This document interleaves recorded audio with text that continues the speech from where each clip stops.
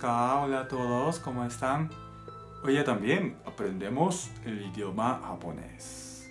Hoy día queremos repasar poquito de adjetivos que hayamos aprendido. Pero en este caso, sí, una detallita, ¿no? Quería destacar porque no es misma idea como español. ¿Qué quiere decir? Por ejemplo, para explicar su apariencia, a veces decimos, ¿no?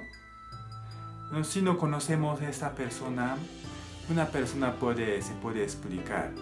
Allá, ah, esta persona, ¿no? Es alto. Y tiene ojos grandes. Y de repente tiene cabello largo. Algo así, ¿no?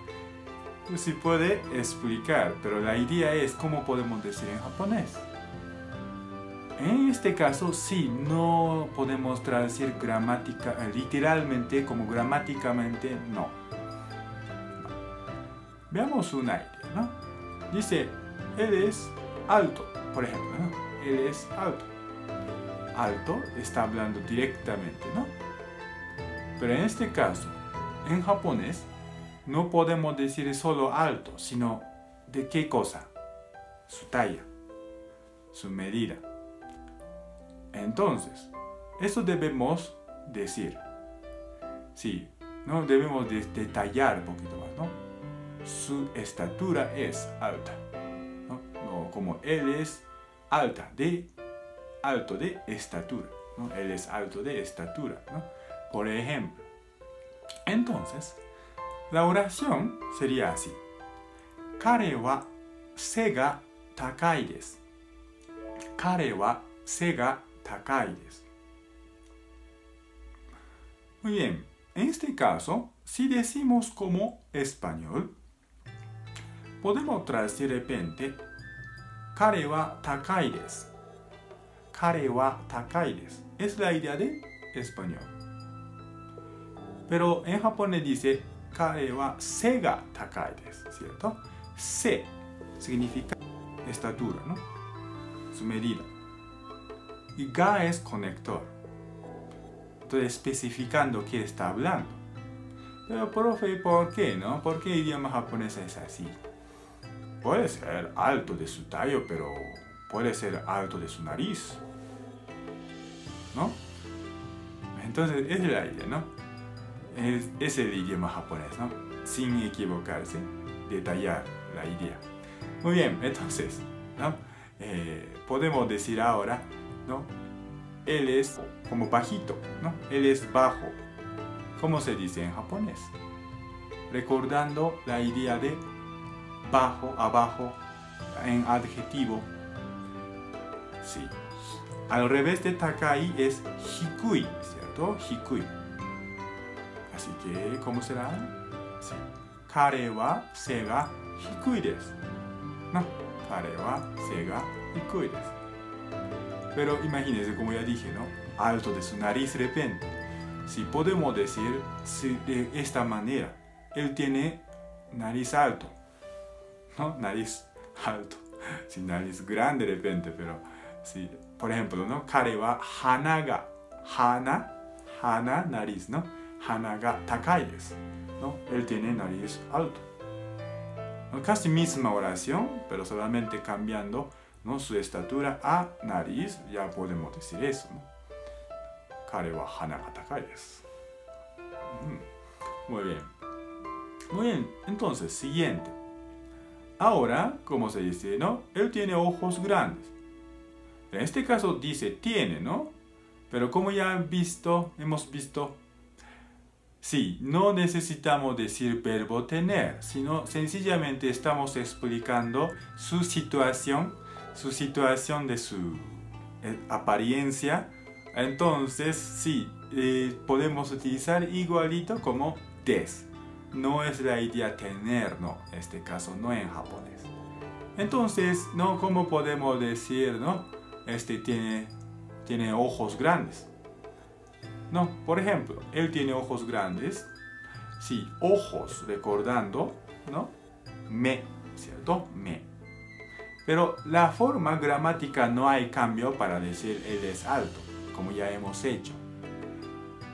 Entonces, ¿cómo será? Sí, la idea es kare wa me ga oki desu. Oki. Oki grande, ¿cierto? Sí, verbo siempre hay que estar en final de la oración, como des en este caso. ¿no? Y conector siempre ga en este caso para explicar su detalle de ¿no? apariencia. ¿no? Ga siempre. Entonces, sí, mega okides, ¿no? So, tiene ojos grandes.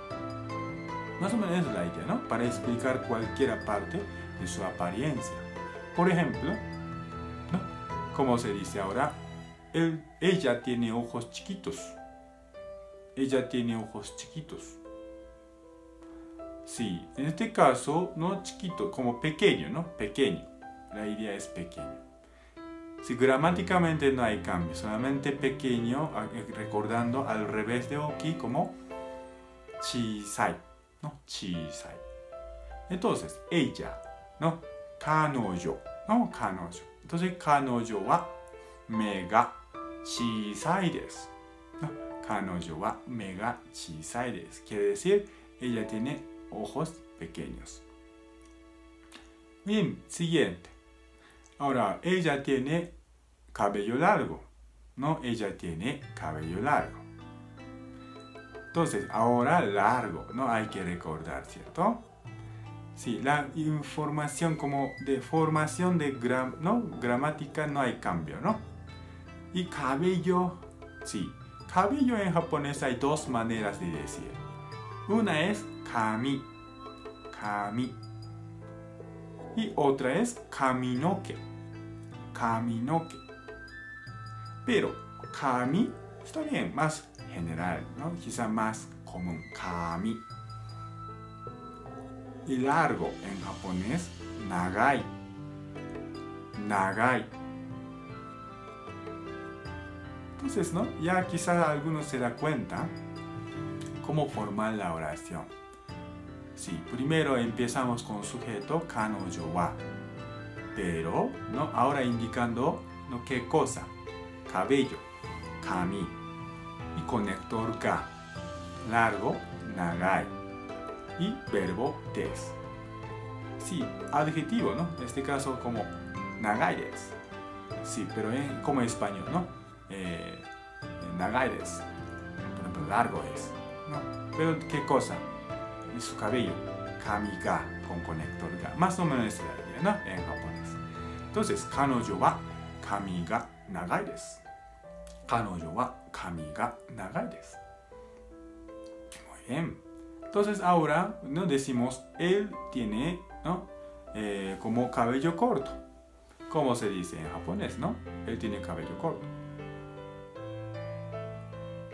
corto, ¿no? Al revés de nagai sería mijikai, ¿cierto? Mijikai.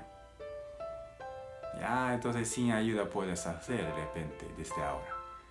Mijikai, ¿ya? Entonces, ¿cómo será? ¿Tiene cabello corto? Sí. Kare wa kami ga mijikai desu. Kare wa kami ga mijikai desu. Muy bien. Entonces, más o menos es la idea de explicar su apariencia con un adjetivo, ¿no? Sí, hay que se acompañar una palabra, sí, la oración, ¿no? Pero más que todo, sí, ¿no? Este, podemos ya explicar de cualquier parte. Tiene cabeza grande, ティネコセマピエペケニョノセペロデペンデデウノノンポデモススプリカルコンエスタマデラでは皆さんよくできました。また今度。さようなら。